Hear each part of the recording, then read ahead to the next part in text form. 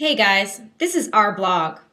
Why blog? Because blogs are a great way for companies to share projects as they happen. As an EM employee, you should care about the blog because you have something important to say to our clients. Electric Mirror is the leader in lighted mirror technology. Our products are innovative, cutting edge, and exciting. We're everywhere. Our products are in hotels across the world.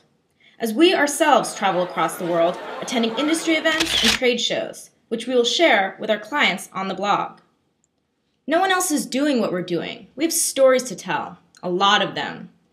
There's so much going on. Marketing, you have a story. Engineering, you have a story. Sales, you have a story. Accounting, well, let's talk to Ross, Electric Mirror's chief lighting engineer. Ross works on projects that brings the latest lighting technology innovations to our clients. Ross is telling a story that will help architects, interior designers, and hotel owners plan their upcoming projects efficiently. Traditional media marketing can take up to six months for a project to be published. Digital media is responsive and fast. Ross doesn't have to wait six months to tell his story. He can share it with our clients now, in our blog, while it's happening.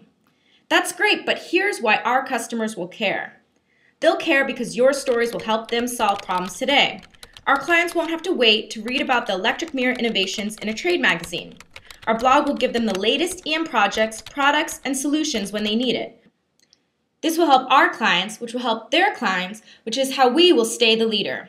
So back to you in accounting. Here's why you care about the EM blog. One word, sales.